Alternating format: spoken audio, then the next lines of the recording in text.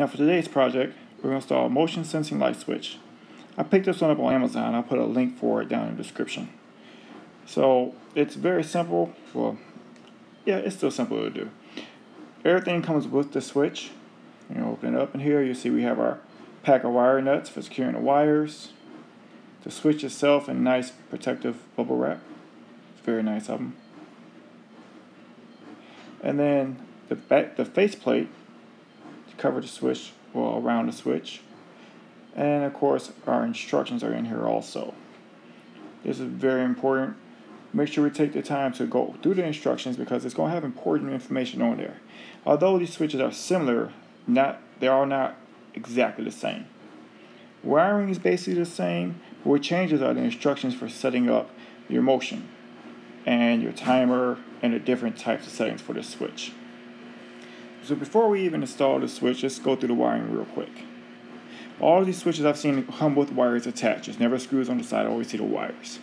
We have our ground wire, our neutral wire, a wire that feeds the hot to the switch, and our wire that feeds the hot from the switch up to the light. Using a color coding, red is your switch. Now these two wires are already in the box, the black and the red. Well, it won't be that color, but we know those two wires are there. We have hot coming down and hot going up. Ground wire, we're not worried about running here because we're working off a conduit. So we ground off the box. Then our white neutral wire is actually wire we will have to run. Because there's only a switch out a switch box here and conduit, there's only going to be two wires in there and they both should be black. So we have to route a new white wire, neutral wire, from the main bundle up in the fixture down to here because this needs its own neutral. Now we have our wires figured out. There's one more step I want to take care of before I install this. Just because it's easier to do this here than when it's up in the wall. So what I'm going to do is pop the switch plate cover off here. There we go. Now I'm going to take my little screwdriver. I'm going to go ahead and adjust the settings. Now this switch has three settings. You switch it to off. It works like a regular switch. Push it to turn on, push it to turn off.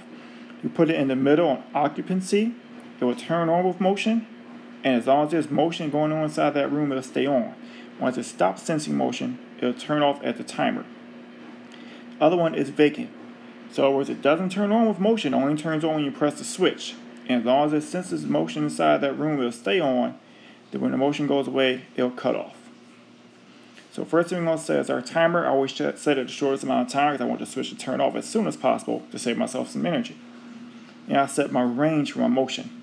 I always turn the range all the way up to make it as sensitive as possible because I kind of want it to come on as I'm coming to the doorway since this is in a hallway. And that way this hallway will come on and be lit up as I'm walking into it. And again, I want it to turn off as soon as motion is over. The main reason I'm doing this is because I hate having to turn that hallway switch on. Then, if I'm going to the other side of the hallway, I don't need it on anymore. So I'm not planning on walking all the way back, turning switch off, and walking back through a dark hallway. This way the hallway will be lit up as I'm passing through it, and then it'll cut off. Now we got that together, let's get our tools together. So the tools needed for this project are the little mini screwdrivers like you saw me just use for the switch. We're going to need our wire strippers to pull the insulation off the wire. We're going to use our lineman pliers to help cut the wire and also tighten the wire as we twist it together. Then use our needle nose pliers to uh, help wrap the wire around for our ground and also get wires off the switch. We go on to our work light we cut cutting power off. Our impact driver and bits, I just like using impact driver because it's faster. You can always get away with just a regular screwdriver and bits or just regular screwdrivers, but I like the bits, we'll get different screw heads. Electrical tape, of course. Fish tape to pull the wire through the conduit from the switch to the fixture of course, wire. Since it's just a light, you can use 14 gauge wire. You want to make sure it's white, so you stay with the color code. And of course, our trusty electrical tester so we don't kill ourselves. All right, let's get to work. So the first thing we're going to do is get our old switch off the wall. Now, I actually leave the power on while I'm doing this. I have more than enough light to work with. If you're not comfortable with that, go ahead and hit your breaker now and turn the power off.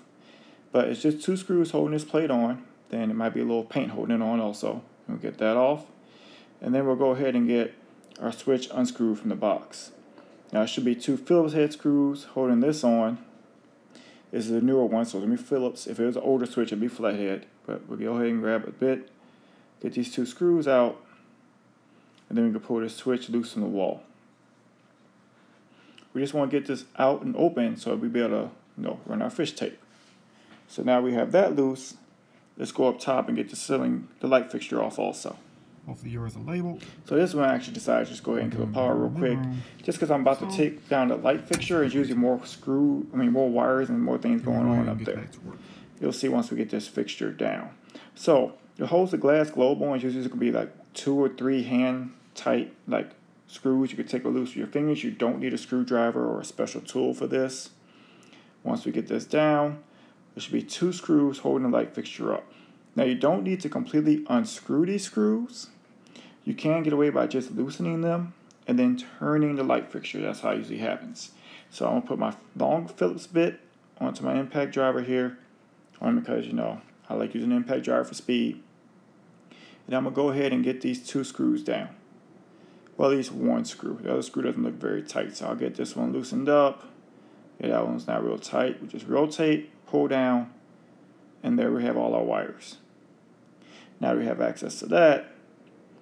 We have holes open. We can start running our fish tape from the light switch up to the light fixture so we have something to pull the wire back with.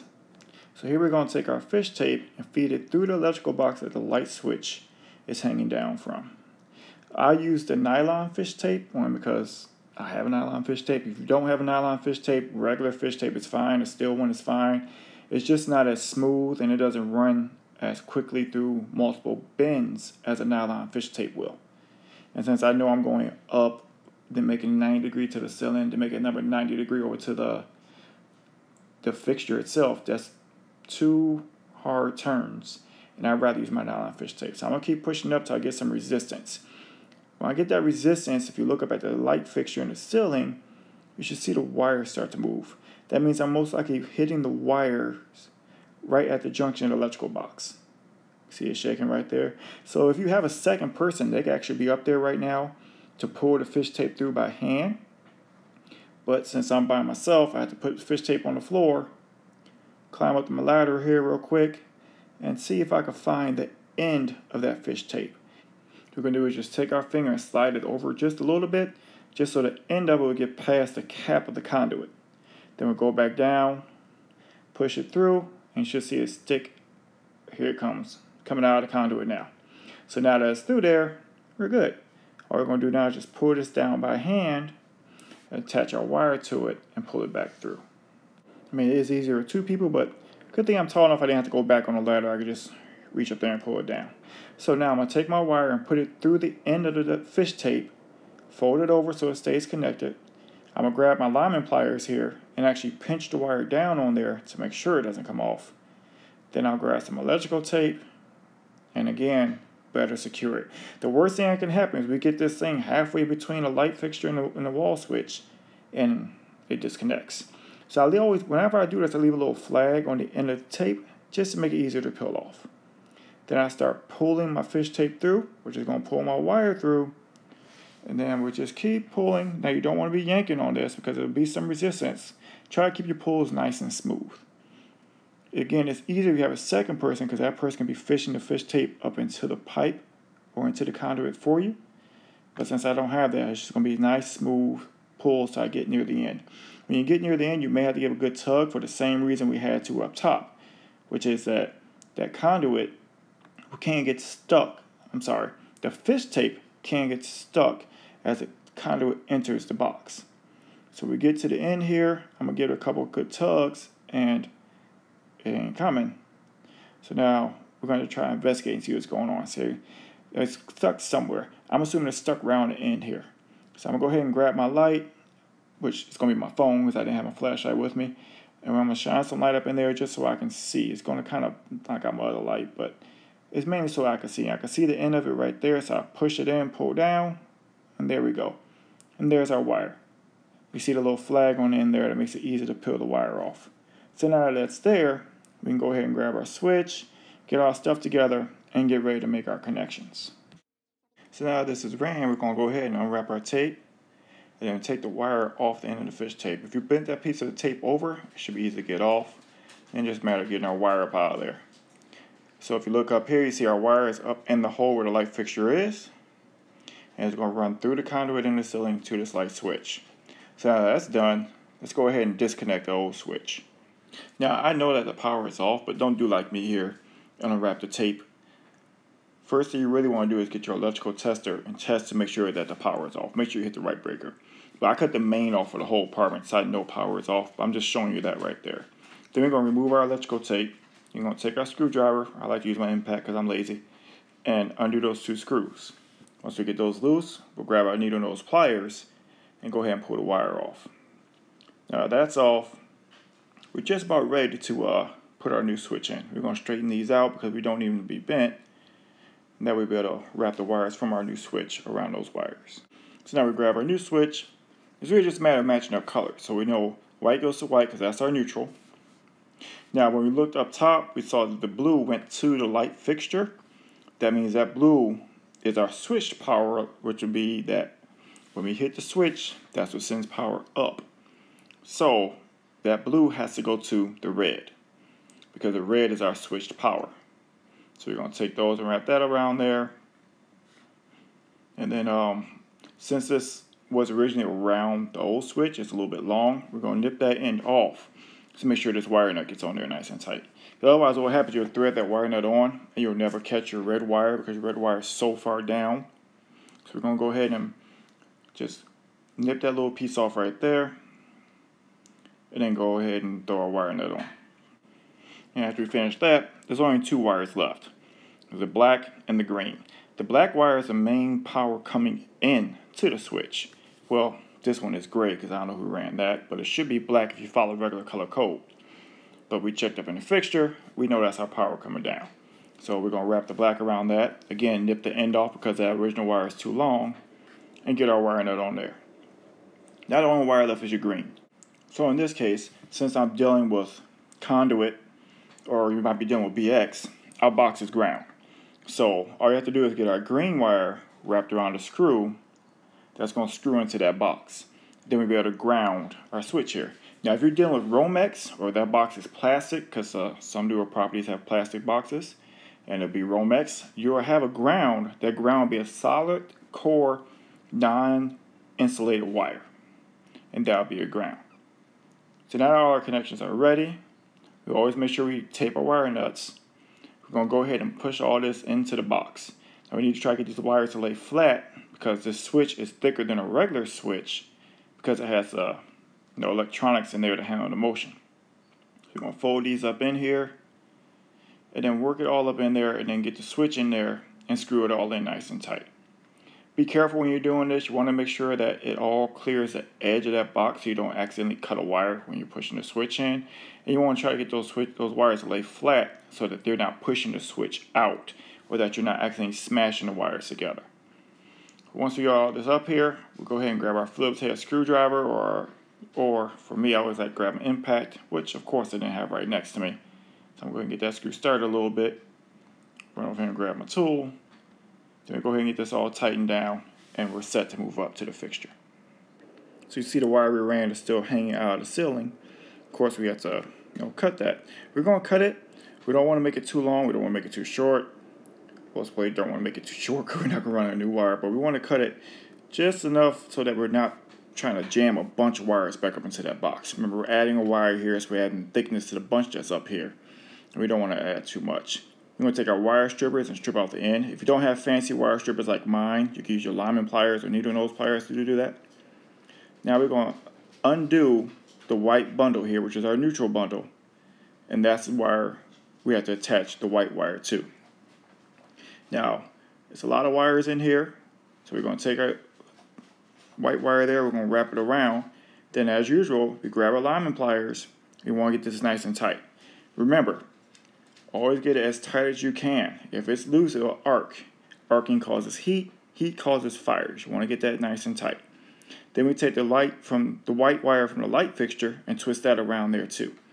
Same thing, get as tight as we can. We're to nip off a little end there because our new wire stripped a little bit too much and made a little bit of a long end. So we nip that part off.